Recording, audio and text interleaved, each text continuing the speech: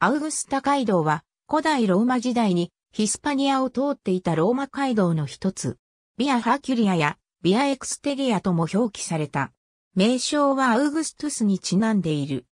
イベリア半島南端部のガデスを起点とし、主に地中海岸を通ってピレネー山脈を越え、ナルボ・マルティウスでドミティア街道に接続した。総距離は約 1500km。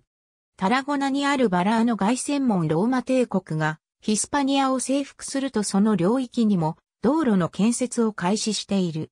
帝国中にローマ街道の道路網が張り巡らされ、すべての道はローマに通ずという格言も生まれている。ヒスパニアで最も重要な道路がアウグスタ街道である。紀元前16年から紀元前13年にはアウグストゥスがヒスパニアを訪れ、建設中のアウグスタ街道にも立ち寄った。この道路はローマ軍によって建設され、アウグストゥスにちなんでアウグスタ街道と名付けられた。紀元前8年から紀元前2年にかけてアウグストゥスはこの街道の改修を命じている。アウグスタ街道は主に商用利用される道路だった。409年の後半頃には、西ゴート族がヒスパニアに侵入し、道路を管理する者がいなくなった。アウグスタ街道の衰退が始まり、410年にはローマ略奪が行われた。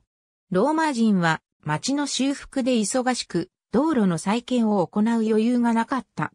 今日ではスペインの N-340 号線と A-7 号線の2本の道路が、かつてのアウグスタ街道に沿って通っている。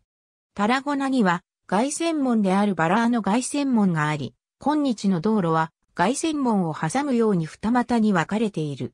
マントレーでは1289年に建設された、ポンダル、ディアブルという橋でリブラガート川を越えている。